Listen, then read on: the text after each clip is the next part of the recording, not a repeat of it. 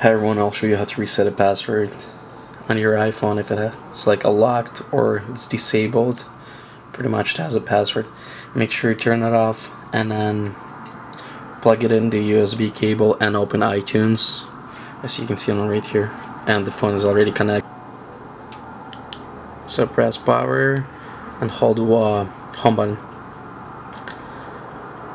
and wait until the phone resets. Now release power button and keep holding home.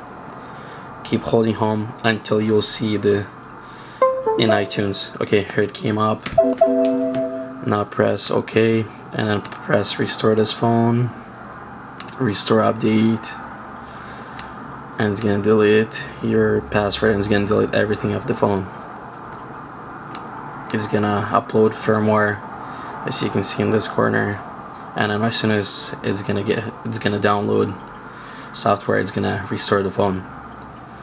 It's not gonna delete your iCloud so but it's gonna do just like new phone. Thanks for watching. Bye bye